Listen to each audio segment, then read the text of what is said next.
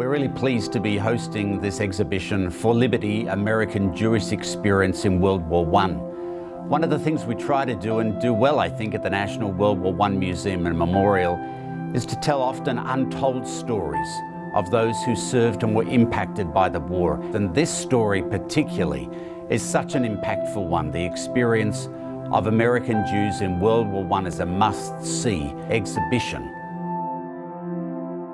For Liberty, the American Jewish Experience in World War I documents how the events of one year, 1917, fundamentally changed the world and impacted what it meant to be a Jew in the United States and the connections between Jews and their brethren around the world.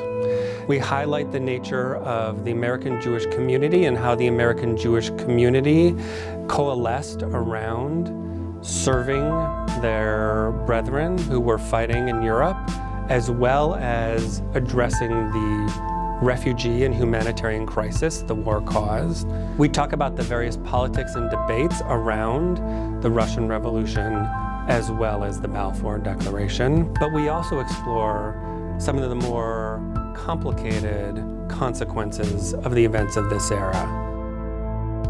For Liberty is especially meaningful because it draws these direct connections between history of a century ago and our lives today. It gives visitors the opportunity to learn things they may never have known before, and it also gives us the opportunity to think about our own lives today. What were the choices people made a century ago? And as we confront those very same issues today, it asks us what choices will we make in our own lives. One of the things that we explore here at the National World War I Museum and Memorial is the long shadow of the war, its enduring impact.